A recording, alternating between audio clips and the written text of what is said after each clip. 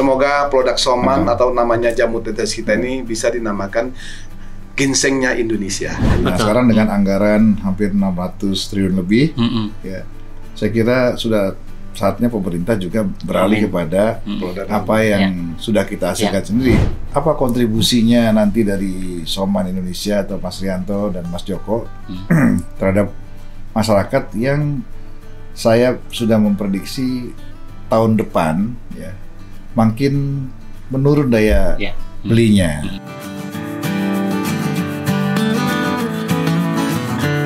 Are you ready? Hai guys, kita bersama lagi di Bamsu Channel. Ngobrol sampai ngompol, ngobrol asik sampai ngomong politik.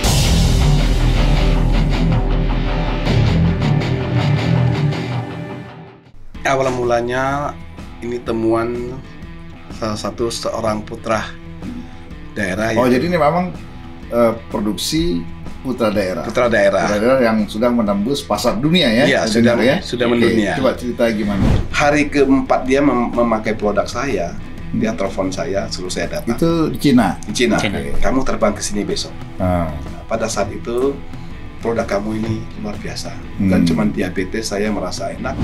Terus apa harapan Pak Arianto nih terhadap pengembangan jamu tradisional kita ke depan? Ini termasuk tradisional kan sebetulnya, Iya. kan? tapi tapi di Hmm. packet, di packaging, dibungkus Ya. modern kan gitu. Betul.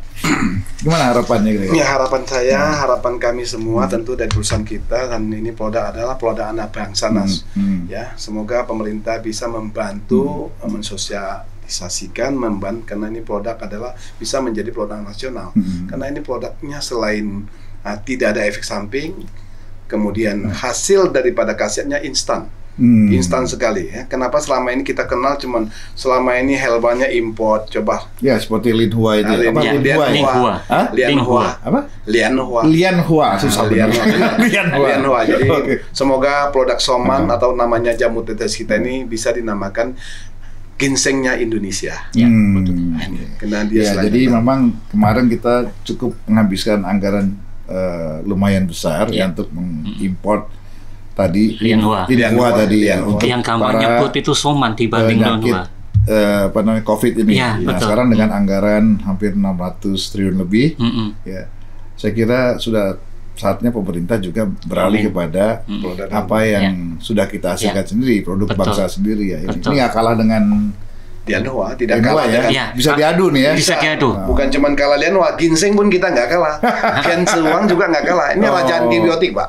Oke. Suwang kan raja antibiotik. Ah. Kalau untuk yang luka-luka silakan cepat Pak instan dia prosesnya. Ah, ini juga bisa mengalahkan ginseng ya. Bisa. Bisa. Nah, ini bisa jadikan ginseng in- Indonesia, Pak.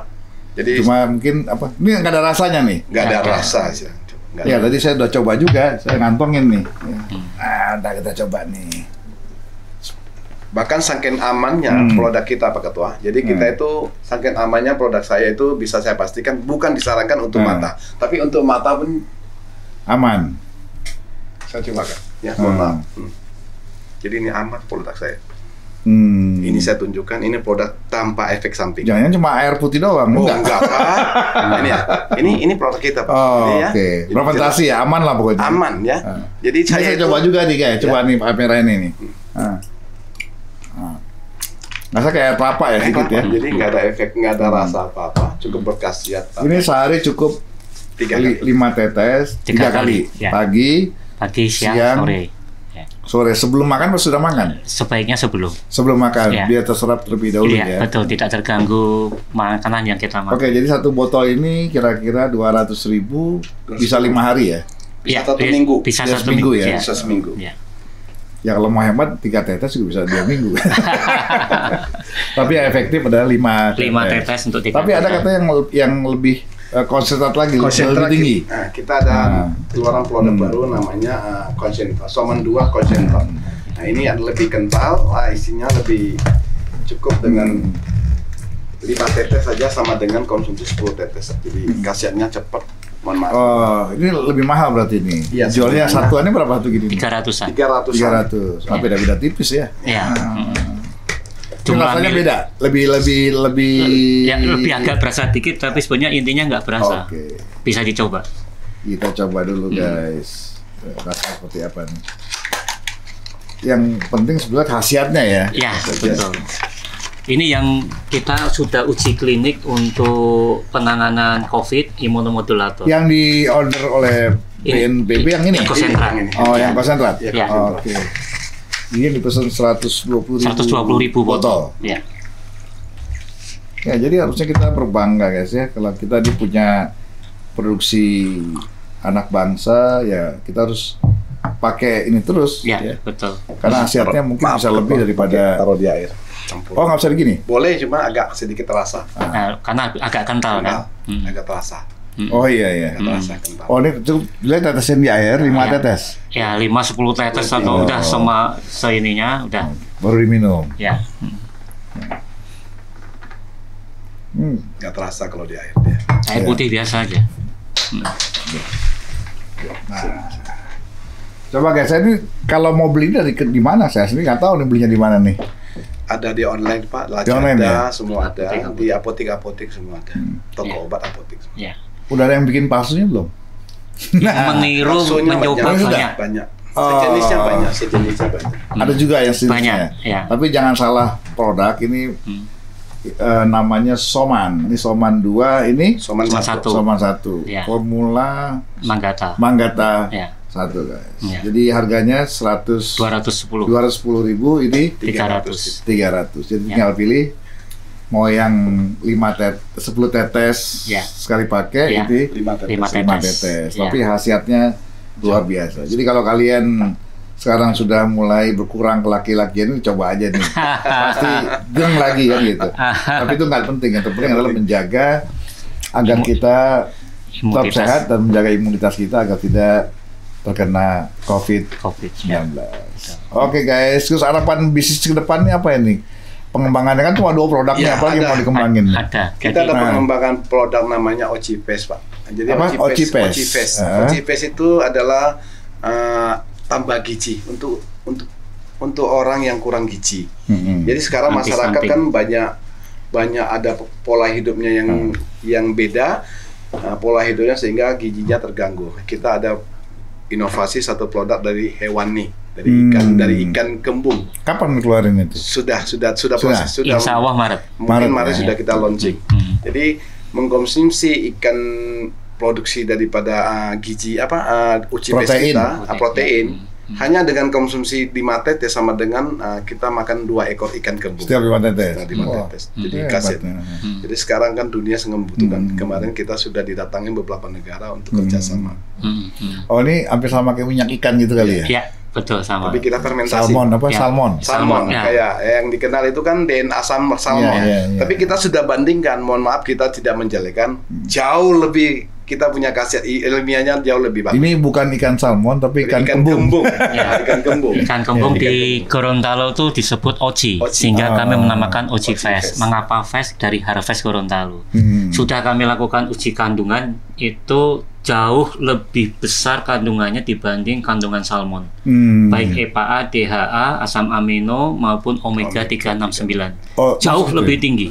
Ya, jadi kalau kalian tidak suka makan ikan, ya, mengkonsumsi apa tadi namanya? Oci fest. Oci Fest itu sama dengan mengkonsumsi setiap lima tetes seperti dua Dua ekor, Dua ekor. eh, dua ekor ikan kembung. dua ekor kita anak yang kecil atau yang gede? Gede. Iya. Oh gede.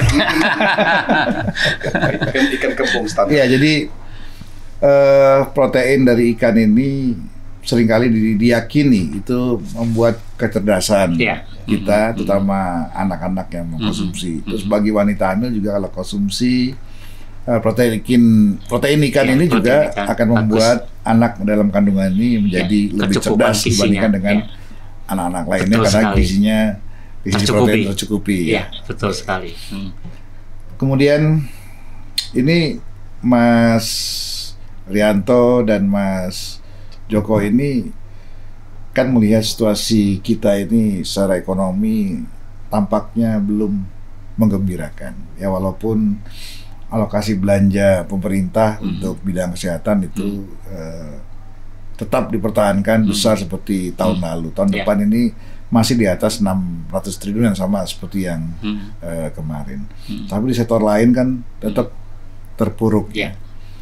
Apa kontribusinya nanti dari Soman Indonesia atau Mas Rianto dan Mas Joko terhadap masyarakat yang saya sudah memprediksi tahun depan ya makin menurun daya Ya. belinya. Hmm. Bagaimana kira-kira Hmm. eh, membantu masyarakat yang ya kehilangan Hmm. eh, pekerjaan, Ya. kemudian Hmm. kehilangan Hmm. pemasukan, Ya. Hmm. apakah ada diskon khusus buat Ya, mereka ya. atau Hmm. Eh, apa rencana eh, sosialnya ke Ya, depan? ya. Ya.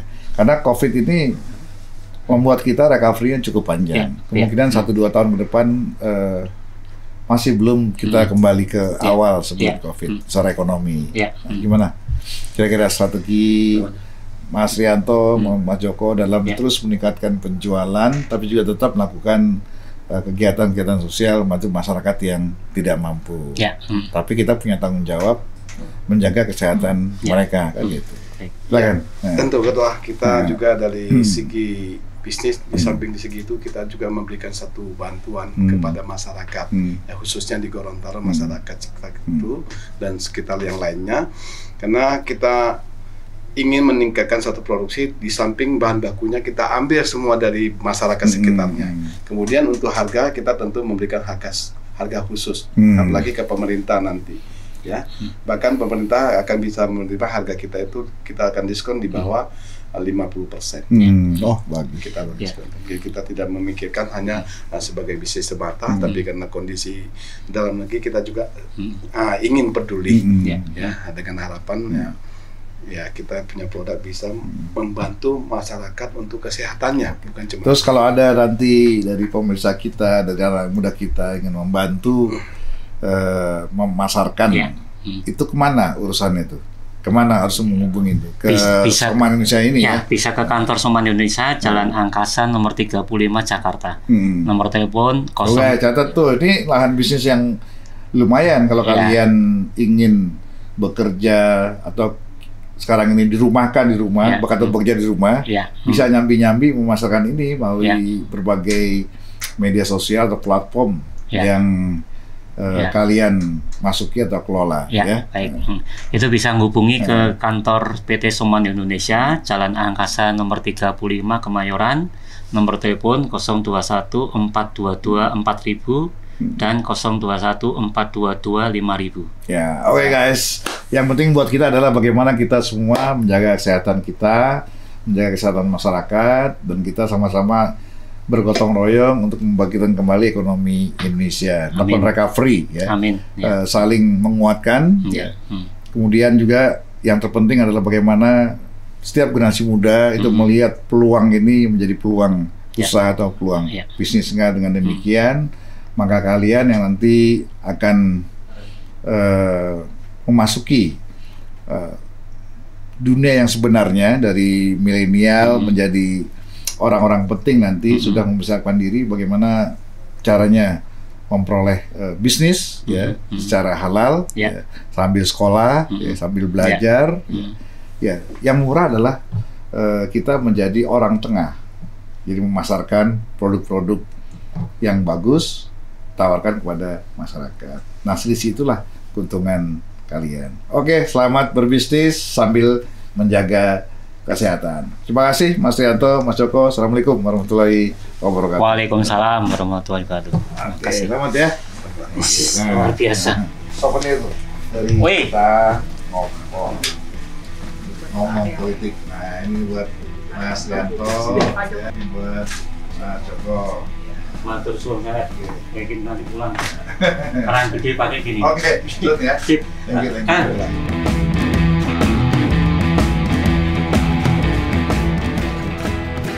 Bro and sis, jangan lupa subscribe, like, comment, and share.